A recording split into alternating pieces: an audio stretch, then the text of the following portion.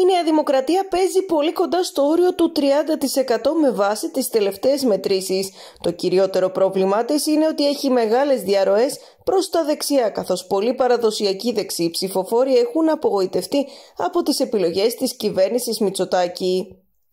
Ως αποτέλεσμα η Νέα Δημοκρατία αναζητά τρόπο να αποκτήσει πρόσβαση στο δεξιό χώρο και να σταματήσει τις διαρροές κυρίως στη Βόρεια Ελλάδα. Αυτός είναι και ο λόγος που επιλέχτηκε ο Φρέτι Μπελέρης να τοποθετηθεί στο ευρωψηφοδέλτιο του κόμματος, καθώς με αυτόν οι μετρήσεις έδειχναν ότι μπορεί να υπάρξει κάποια συσπήρωση από το δεξιό ακροατήριο.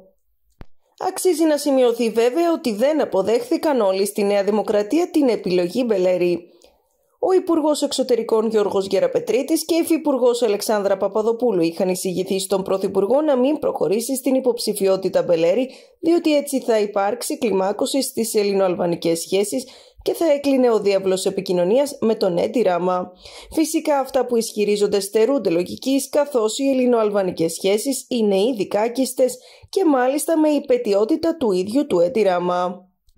Από την άλλη πλευρά συζήτηση προκάλεσε και η επιλογή της Ελεονόρας Μελέτη ως υποψήφιας για τις ευρωεκλογές με τη Νέα Δημοκρατία. Η επιλογή αυτή δεν έγινε τυχαία καθώς η παρουσιάστρια έχει μεγάλη αναγνωρισιμότητα αλλά το κυριότερο είναι ότι έχει επίδραση στο λεγόμενο απολυτή κόσμο.